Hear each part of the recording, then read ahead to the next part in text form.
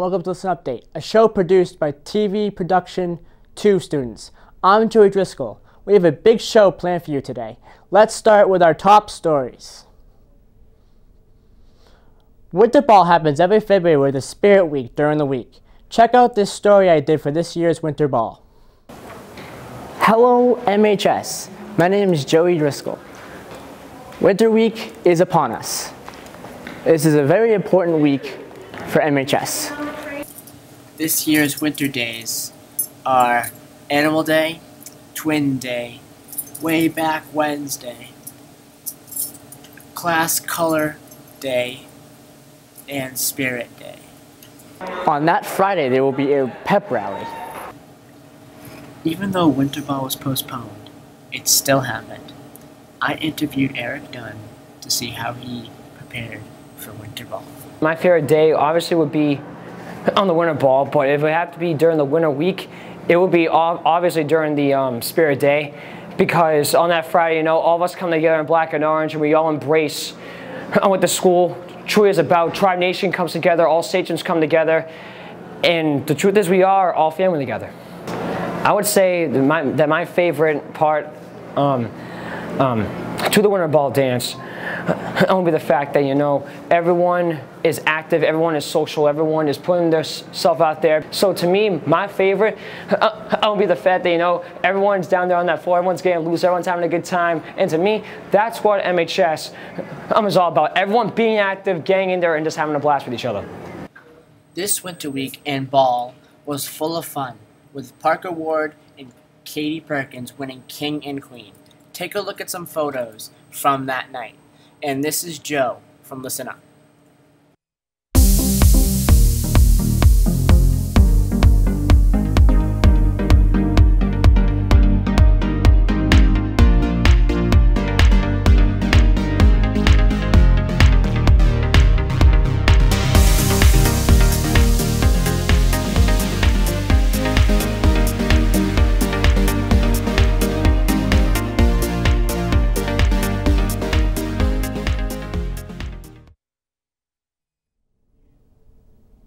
On January 29th, Middleborough Student Council and Middleborough Special Olympians went to Rockland for their annual bocce tournament.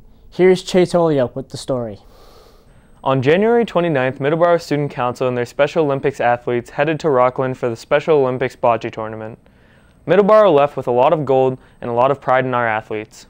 I interviewed the Special Olympics chair, Ian Gilson, about his thoughts on the event and made a highlight of the tournament.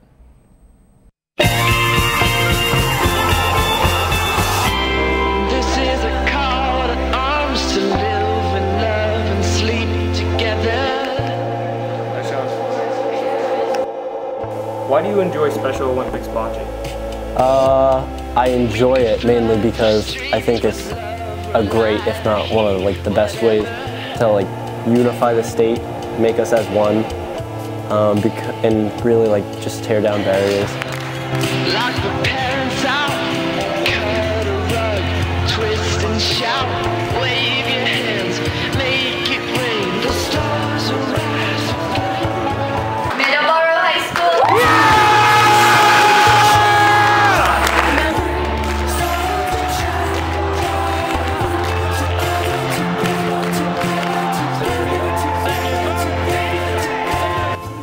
Why is it important that your school allows you to participate in Special Olympics bocce? Uh, I, I see it as like a privilege to participate in it um, because obviously not every school in Massachusetts gets to and not only is it like a lot of fun but it's for a great cause and it has a really great effect.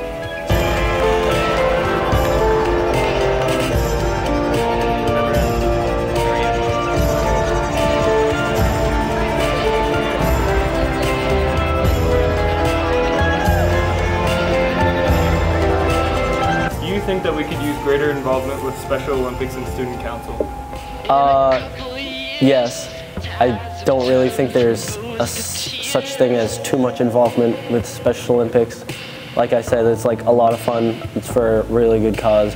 So like, if there was more of that, um, I don't know, sign me up.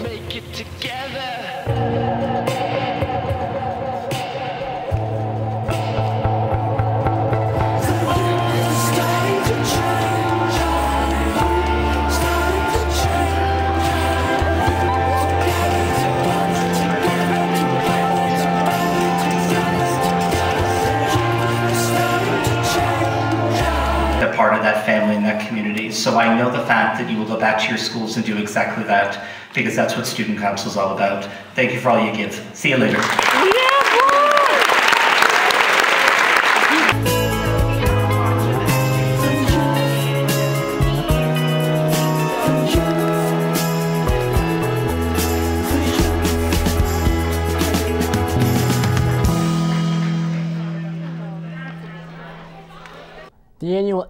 MASC conference in Hyannis will be held on March 8th through the 10th, and junior at MHS Ian Gilson has been working tirelessly on his campaign to run for president. Here's Garrett Donohoe with the story. With the annual MASC conference in Hyannis coming up in just about a week, I got the chance to sit down with Ian and take a look at some of the progress him and his council have already made to prepare for his campaign. Ever since like December when we started getting the wheels turning, I think we've just been like really unstoppable. I think the council's been doing like really great work and like I've been, I, in my opinion, I've been pulling my weight. And uh, I don't know, the council and me, we've just been working really good together. Ian and his council have been working very hard in order to get ready for the conference, such as rehearsing things like their lip sync dance, which they will perform at the conference, and finalizing Ian's speech. And even though the road so far has not been easy, Ian confirmed that it's certainly been worth it. Uh, it's definitely a lot of work. It's definitely the most amount of work I've ever put into like one thing. Um, but I'm definitely proud of my work, and I think that like it, it really it, it would make Middleborough proud. With Ian's step to run for such an honorable position, he has made his town and school proud already, and we can't wait to see the great things he'll do. Throughout his journey through Student Council, it has assured him of one thing, and it's that Student Council is the place for him. I was climbing Multnomah Falls in Oregon, and I was like, wow, this is like, this is this is my thing. Like, I should own this. And then like later that summer in uh, in Worcester at MASC summer camp, I was like, I, I definitely want to do this. Ian's journey continues from here, and with his passion for student council and his yearning to go out and explore new heights with everyone throughout MASC, we're sure he'll do great. I've just been working my butt off. Uh, I ran for VP of Middleborough Student Council last year, and I got that position. And I think it starts with me as a freshman, me as a sophomore, me as a vice president, and now me as a MASC presidential candidate. Have you ever wanted to learn how to French braid, make cookies, or dunk a basketball? The TV Production 1 students have been working hard producing their first project, a demonstration video. Here are demonstration videos from Courtney Roberts, Eric Grady, and Kyle Maloney.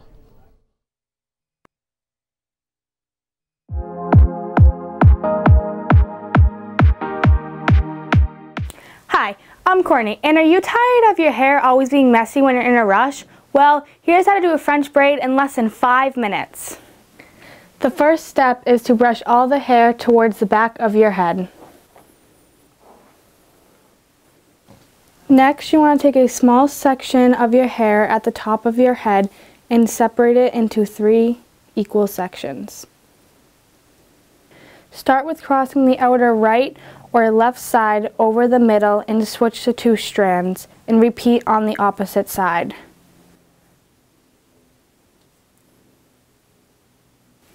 To continue with the braid, you are going to grab a small section of your hair that is down and add it to the strand that is going to be crossed over the middle.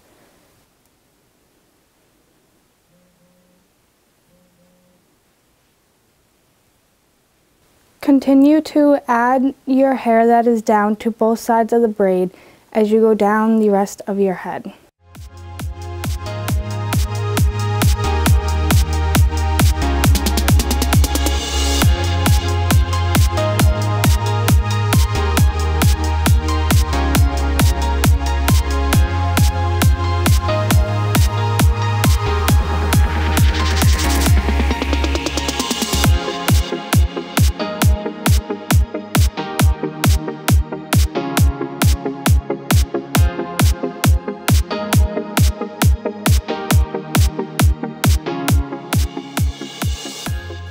Once you get to the bottom of your French braid, all your hair will be added in and you will be doing a regular braid down the rest of your hair.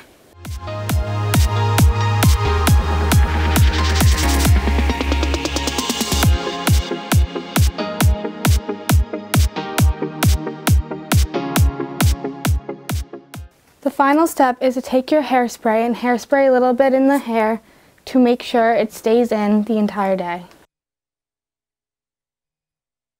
Once you have conquered this braid, you're ready to take on your lazy hair day and still look good. This is Courtney signing off.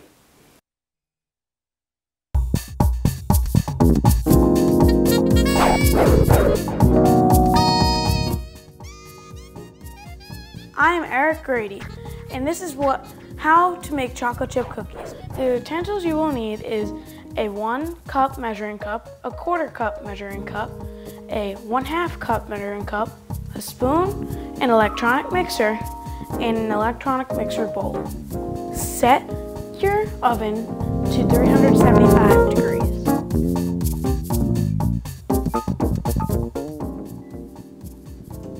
Next, you're going to put two defrosted sticks of butter in.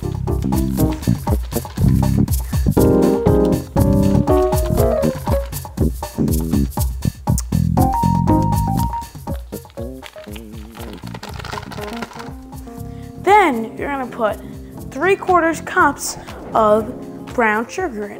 Make sure it's packed down. Then put three quarters cups of sugar in. Next, you're gonna wanna put your two eggs in.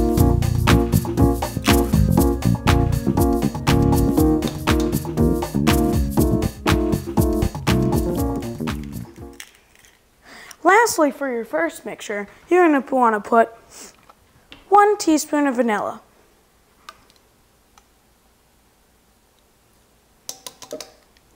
Place the lever onto stir mode. Next, you're going to measure out three cups of flour and put it in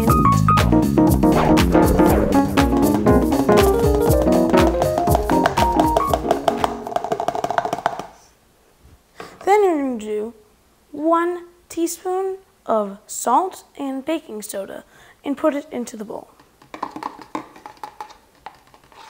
After you've completed that step, you are going to place the lever to speed 2.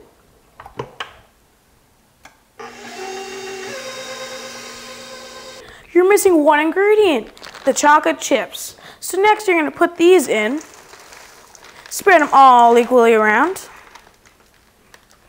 Now, grab your non-stick pan and put 12 balls of dough about this size on. That is one example for you. Now put 11 onto your cookie sheet. You're going to put it in the oven for 9 to 13 minutes. Second to last, you're going to clean your dishes.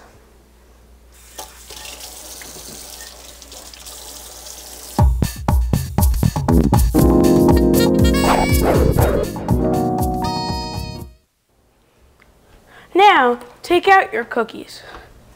They should be golden brown like this. Now your cookies are complete. Thank you for watching how to make chocolate chip cookies.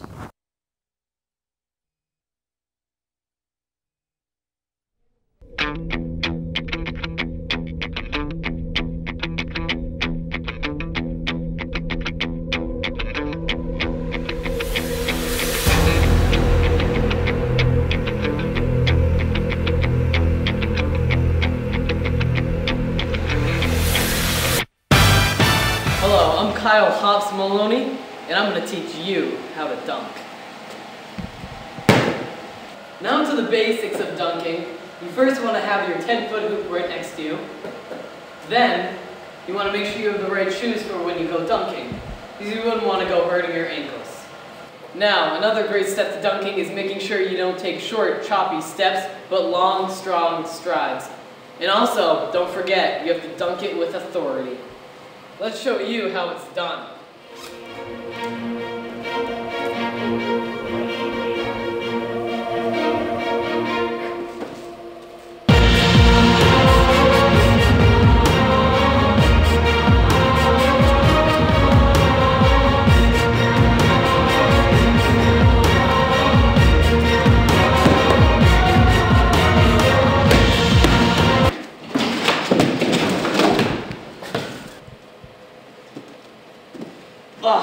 crap.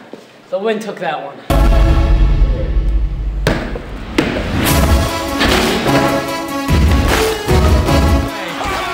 Don't do like that, White Mamba. That's what the fans came to see, baby. They came to see good basketball and the White.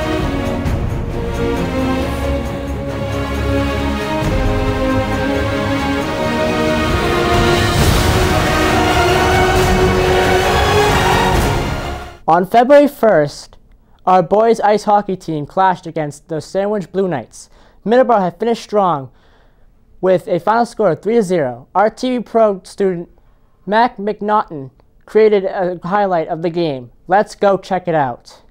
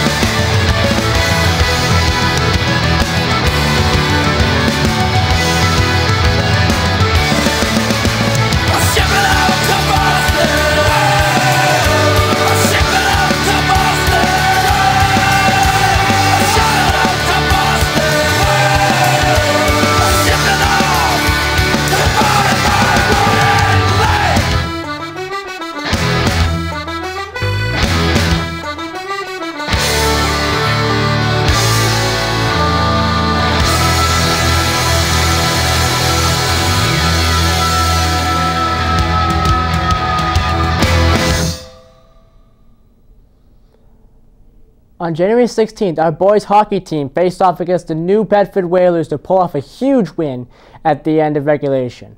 Let's check out some highlights of the game.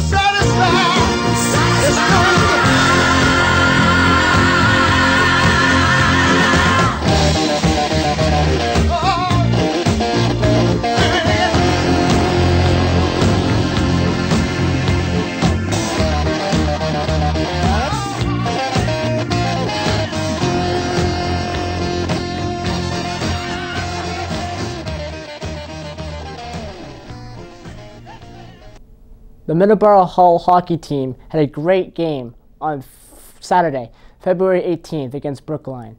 As their last home game, the team recognized the seniors that play for the team. Here's a quick look produced by Sydney Montross.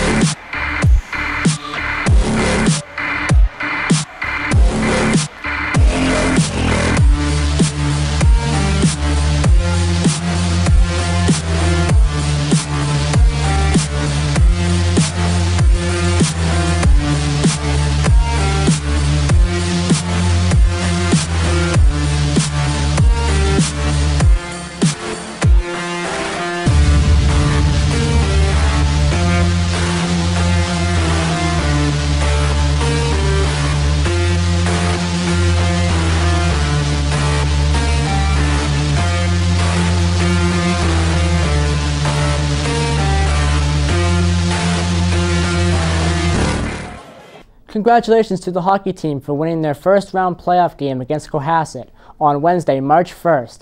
The game went through regulation in a 3 3 tie. After two periods of overtime, Middleborough went to a shootout, and Matt Doyle put the, the puck in the back of the net early in the shootout, which held the lead for the Sachems. We will have continuing coverage of their road through the tourney in our next episode. Girls basketball has come to a great closing. Friday before vacation, the Lady Sachem Hoopers versed Sturgis East. They won 75 to 39. Here are some highlights of the win.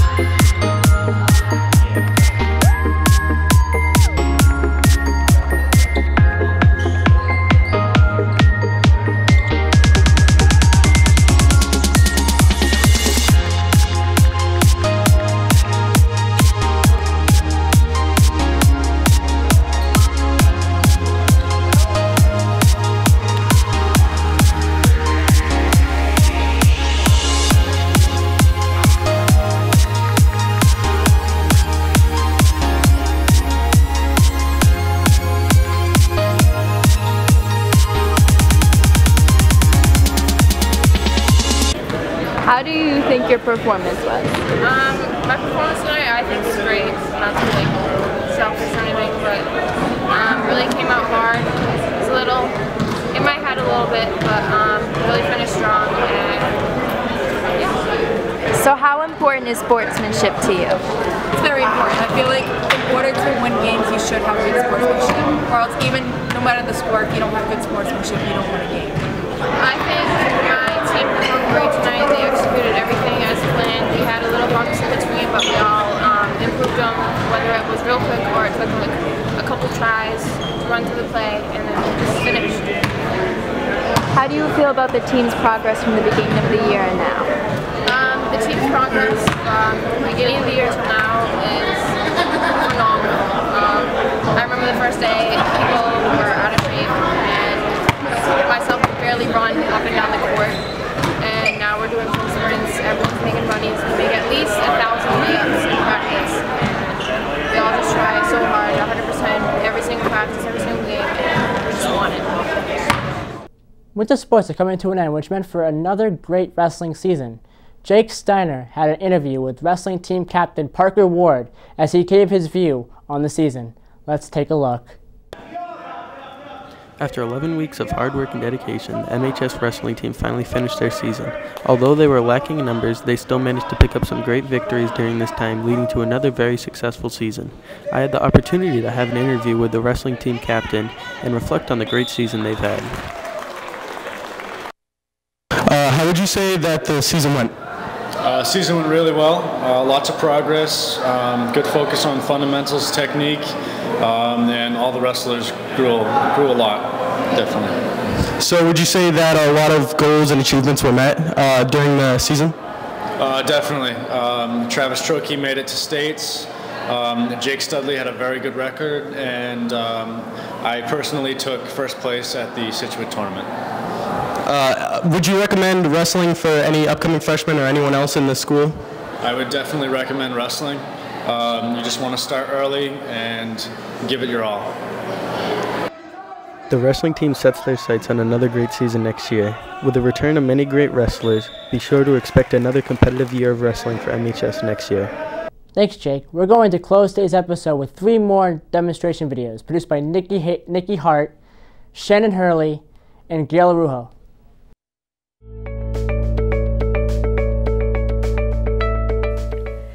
Velcro? Hi, my name is Nicky Hart and today I'm going to be teaching you how to tie your shoes.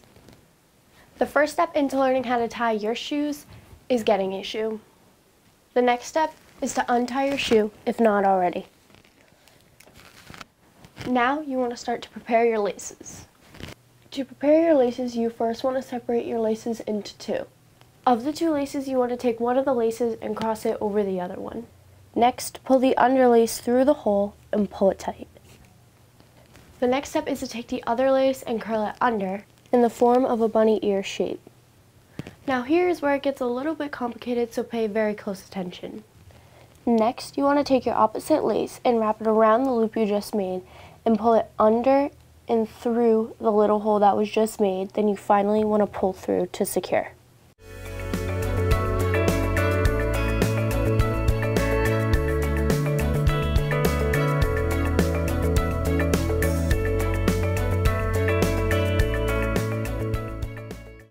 Today you got to learn how to tie a shoe, so my job's done here. My name is Nicky Hart and I'm signing off.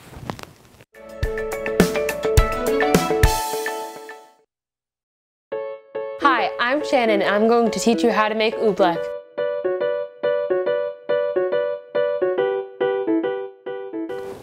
You'll need one cup of water and one to two cups of cornstarch.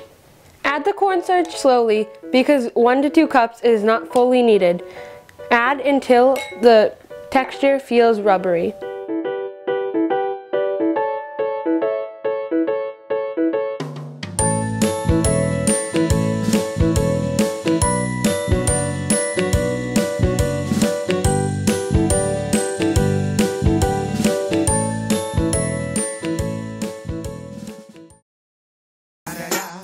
It's the one and only Double G. Hello, Donald Trump here. And today I'm going to show you how to make mac and cheese. First, grab a box of mac and cheese. Second, open it up. Some folks are born made to wave the flag. Ooh, they're red, white, and blue. And when the band plays, hey. And now, this is the hardest part. So listen carefully. You guys ain't going to be able to do this, but get ready. Read the instructions. Got him! Got him!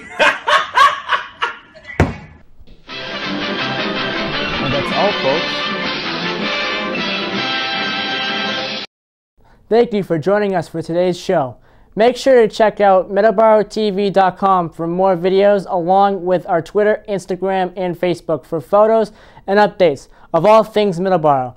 I'm Joe Driscoll, and from all of us in the studio, thank you for watching, and we will see you next time.